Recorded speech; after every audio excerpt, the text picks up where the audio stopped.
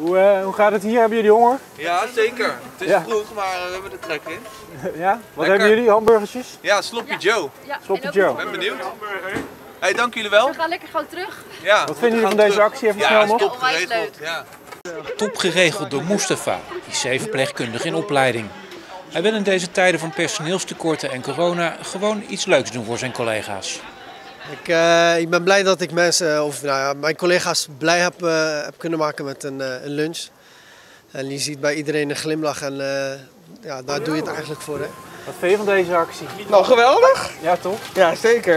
En wat heb je daar voor Ik heb, eh, oh heerlijk, Eh curry, curry rijst hè, met garnalen en lekker, lekker pittig. We hebben het super druk gehad. We hebben eh, een hoop moeilijkheden eromheen gehad. We moesten ook eh, stakingen organiseren voor een beter salaris.